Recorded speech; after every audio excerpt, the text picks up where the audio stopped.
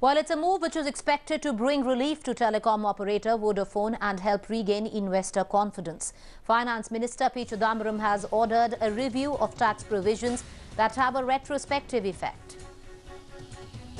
The retrospective tax changes introduced by Pranab Mukherjee had drawn sharp criticism from across the globe and scarred investors, along with the general anti-avoidance rules and tax avoidance, another controversial element of Pranab Mukherjee's budget.